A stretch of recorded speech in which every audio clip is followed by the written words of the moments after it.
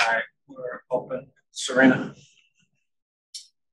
Serena Winters, Bally Sports. Evan, I had asked Darius in the walk-up about his 41 points, 21 in the fourth quarter. He just said it's because his teammates kept him going, kept pushing him. What is it like to play alongside him at the time? Um, it's great. I mean, a point guard like that, I can uh, score the ball, also uh, dish out dimes. It's it makes the game super easy. Um, you, you, can just rely on him uh, when it comes down to the wire uh, for a bucket or assist, anything. Um, it's it really just makes the game easy. So, what was it like for you? You know, getting to roll so much versus you know, talk when you've got JA and, and to kind of be that role man alongside Darius and play that teammate game. Uh, it was fun. Um, it was like back to old days. Uh, I used to play five a good amount, so um, just going out there filling a role that's uh, missing right now, um, and really just trying to provide for my team. And then, how did you notice the attention that he was able to draw in the fourth quarter, uh, especially when they're sending multiple bodies at him and you guys having a space the floor? How did you notice that uh, help help your game? Uh, it helps a lot. I mean, he's drawing that much attention, uh, makes the defense shift all the way over and uh, leaves open uh, a lot of guys, such as me, are shooters as well. So. Do you feel good passing over the chain to uh, Lamar Stevens today? Uh, yeah, yeah, definitely. Lamar came out here and was a dog, and that's why he got the chain. Chris. Chris Fedor, Cleveland.com. There is for you. Um, they start sending multiple guys at you. Sometimes they picked you up like right as you crossed half court, late in the fourth quarter. How did you combat that to to still be able to get yours? Just trying to find out the man. Uh, I was able to set the screen, so I mean I know I can hit him. He gonna make the right play, so it was easy to just get off the ball.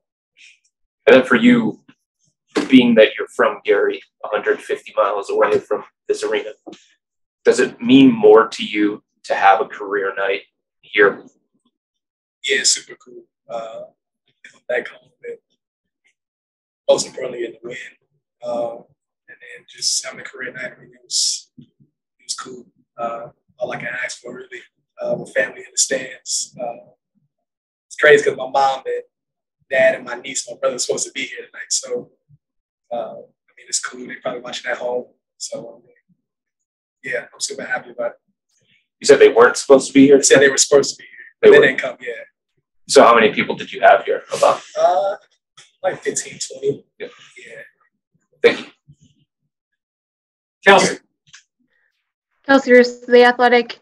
Um, Darius, you joined some um, elite company tonight with this your 41 point game um, with like with uh, James. Last time LeBron James had a 41 point game with the Cavs in uh, 2018. What does it just mean to you just to kind of join that company um, in Cavs history um, as you've made this jump this year? Um, it's super cool. Uh, it's a blessing. Um, I just give all the praise to my teammates, coaches. They give me the confidence to go out there and do what I do. So, yeah, I tip my hat off to them. Um, I mean, just out there trying to do my job. That's it. And how have you seen in your game be able to like when you start games off, you're finding guys, you're facilitating um, and dishing out assists, and then as the game goes on, like you finding your shots. Like especially tonight, you had like 31 points in the second half. But just have you seen that grow over the season of being able to just kind of read um, as you know as defenses are are changing against you and everything? Uh, just trying to pick my spots, uh, try to get my teammates going early, uh, just to see how the game is going, see who's making shots. And then the second half, they need me, uh, just being aggressive, uh, just being in attack mode, and just trying to find the right play to make. Thank you. Could uh, either one of you just discuss the resiliency of that fourth quarter? You had to rebound twice from there after that 10-0 run, and just getting the sealing the deal without uh, without Jarrett in there too. Um, all of us really just try to step up. Uh, we, we just try to win the dogfight. Uh, we knew it was going to be a dogfight, especially in the fourth. We are down, and we just really try to come to play and uh, get the win. Wow. Marla Ridenour, Akron Beacon Journal. Yeah, Darius, I'm just curious why your family didn't come. The hotel room's too expensive, or just... no, uh, road games, every time they come to a road game, we lose. So my mom is like super, super superstitious. So uh, yeah, that's that's the only reason. We talked about it last night, and I was I was kind of mad that they didn't come actually after the game. And I'm just curious when um, Evan made that lob to um, Dean Wade, did you feel like he was stealing your job? No, um, Ev does it all. So I mean, whatever he wants to do, we go we gonna move with it. It's the rookie of the year right here. He do what he wants. And um, did you say anything to Lamar, you know, after he got the chain, just, you know, about the block shot and how big, you know, just how big was that? Yeah, we definitely talked about the block. Uh, I mean, that helps our defense was, I mean, it was great. Um, I mean, we, we expect that from more. Uh, that dog chain, dang, it sounds crazy, but the chain, the chain, I mean, that's, that represents him. So uh, glad that we got it. Glad that he got the third one. Um, just happy to have happy to have a dog like that on our team. Thank you. Joe G. Uh, JoeGCavs.com. Uh, Evan, uh, you mentioned a couple weeks ago about uh, the rookie wall being basically a mental thing. Uh, you haven't hit it, and in fact, you've kind of hit another gear. How have you been able to do that uh, when most rookies are slowing down at this point? Um, just, I mean, I know it's a big stretch coming out uh, before playoffs, so um, we're just really just fighting and trying to get uh, the best seed we can um, to get in the playoffs, and that's really what I've just been focusing on, just trying to get wins and um, doing what I can for the team. Um, that's uh, these last few games has been the end result of that.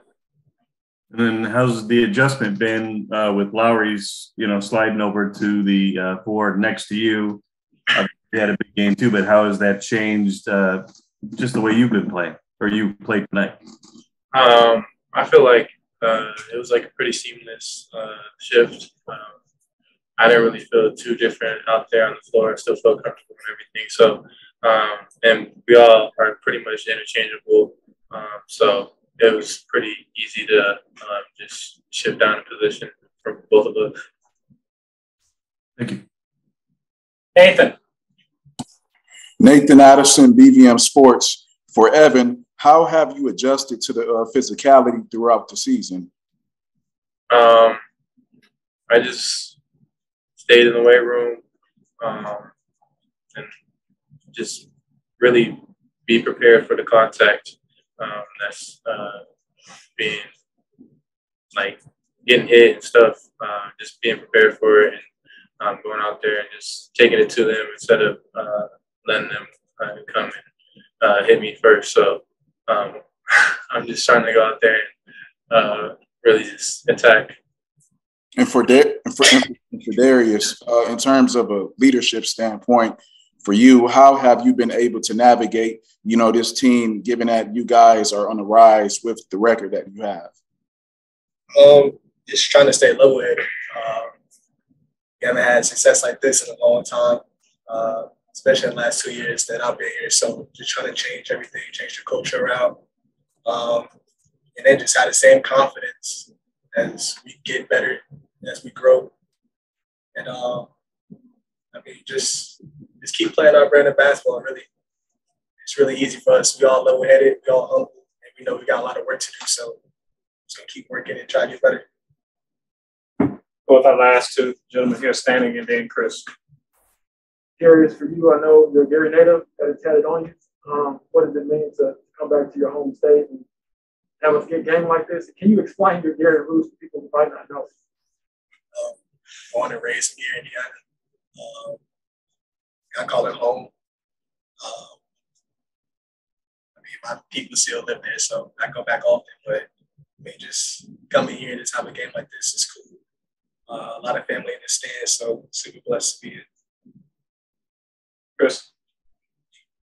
Evan, for you, Darius has called you the rookie of the year. Kevin Love has called you the rookie of the year. Everybody on this team has called you the rookie of the year. Do you think you should be rookie of the year? Um, I'm really just trying to um, get wins out here. I'm not really focused on the award right now. I'm just trying to really play for playoffs and seeds. So um, I'm not really focused on that. I'm just trying to do what's best for our team and um, get uh, as good and um, get better every single game, really. So. And with Jarrett out and you having to shift to the five, have you talked to him about that? Has he given you any kind of pointers about that in the last couple of days since the injury? Uh, no, I haven't really talked to him much. Uh, he's been dealing with his stuff, so um, I just went out there and um, really did what I, I normally do. Um, mostly, it wasn't really a change because in practices and stuff, we switch off, and um, sometimes I run his position as well, so I know um, most most everything that he does. So it was pretty easy to uh, switch. Thank you. All right, thanks, guys.